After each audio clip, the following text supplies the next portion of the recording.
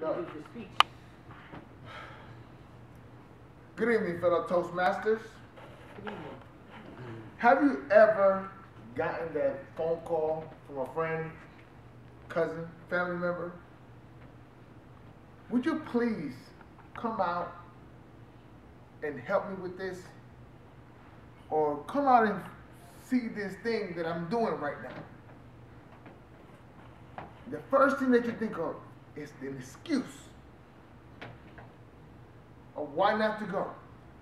You will go all out you will just think of things, you even lie just to not go.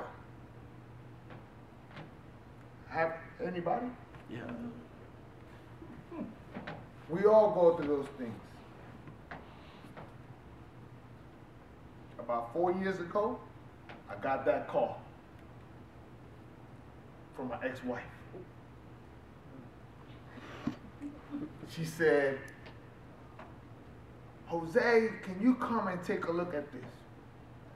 So the first thing I thought, just like most of us, it's one of those things. You know those things, the pyramids. You know. But I sat because I thought that if, like a good ex-husband would do, if I sit in, she'll stop bothering me. But one of those things makes sense to me. I sat down, listened, and it just made sense to me. So I did it. And throughout my journey through business ownership, I have noticed that many of us have the wrong understanding about what these things are. So today, what I'm going to do is I'm going to make a comparison with those things and what we do every other day, every normal day. There are three major stigmas about these things.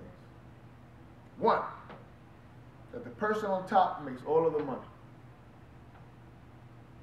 Two, you will not make any money. Three, that if you hear it from someone that you know that has not made any money, you will not make any money. We will say that's true statements. So let's go over these.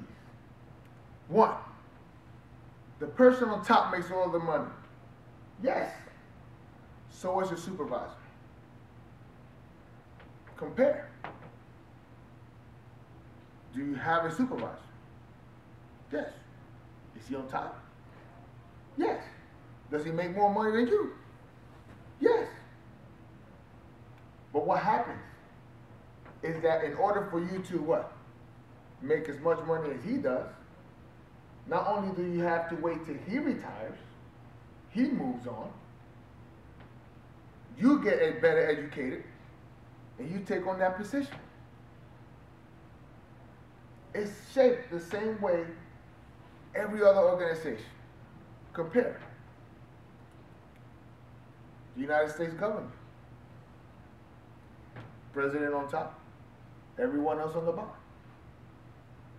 He makes all the money. And most people think he can barely run the country. I know he can, me personally. But most people think that he cannot run a country. So, yes, the person on top always makes the money. The key is that you have to get on top. How? I'll work the next person under you or above you. All you got to do is outwork them. Part two, you're not going to make any money. True? It's up to you whether or not you want to make any money. You work hard, you make money. You don't work hard, you make some money. Regardless of the fact you're going to make money. So I compare at your job. If you go to work, you get paid. If you don't go to work, you don't. Some of these business actually get paid while you are sleeping. Three. Now, if I believe a cousin of my cousin or some type of family member did not make any money, I'm not going to make any money. Let's make the comparison again. Would you take advice from somebody that is not living the lifestyle that you want to live?